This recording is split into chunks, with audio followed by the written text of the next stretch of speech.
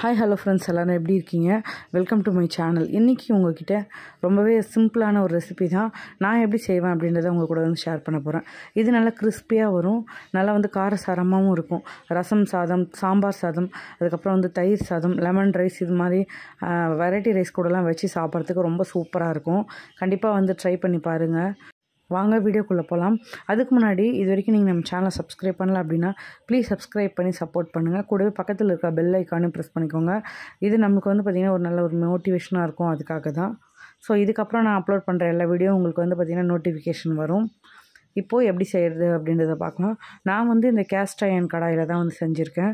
தேவையான அளவு எண்ணெய் சேர்த்துக்கலாம். கடுகு சேர்த்து நல்லா பொறிஞ்சு வரட்டும். இப்போது ஒரு பத்து பல் பூண்டை நல்லா தட்டிட்டு கொஞ்சமாக கருவேப்பிலையும் சேர்த்து நல்லா பொரிய விடுங்க. பூண்டோட லைட்டாக வந்து கலர் வந்து மாறணும்.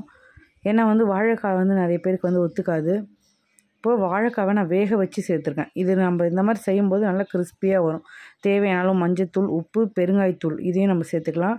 இதெல்லாம் சேர்த்துட்டு நல்லா வந்து கலந்து விடலாம்.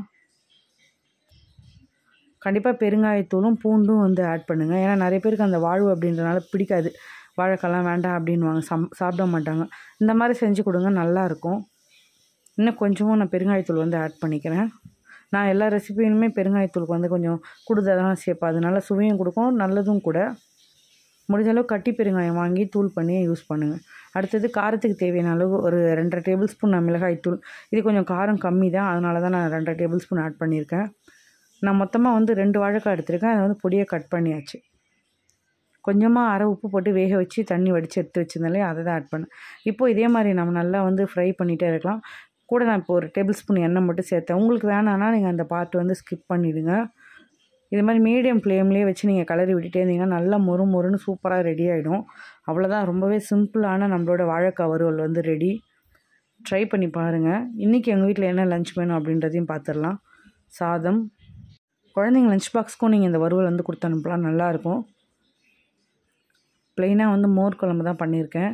எந்த காய்கறியும் ஆட் பண்ணாமல் வெங்காயம் தக்காளி கருவேப்பிலை அதுக்கப்புறம் நம்ம மோர் குழம்புக்கு அரைச்சி விடுவோம் இல்லையா மசாலா அதையும் சேர்த்து ப்ளெயினாக வந்து மோர் குழம்பு பண்ணியாச்சு. அப்புறம் நம்மளோட எம்மியான வாழைக்காய் வறுவல் ரெடி பிடிச்சிருந்தால் சப்ஸ்கிரைப் பண்ணி சப்போர்ட் பண்ணுங்கள் பாய்